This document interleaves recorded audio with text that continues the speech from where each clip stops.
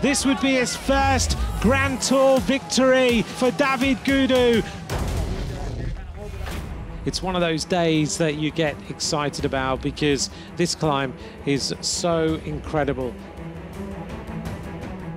Guillaume Martin now on 66 points.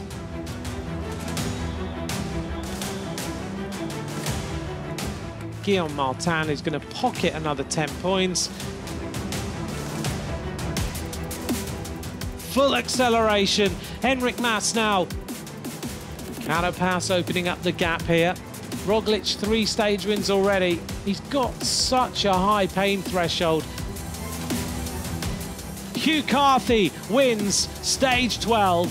Carapaz will be in the red jersey at the end of today's stage. Job done for the Ecuadorian.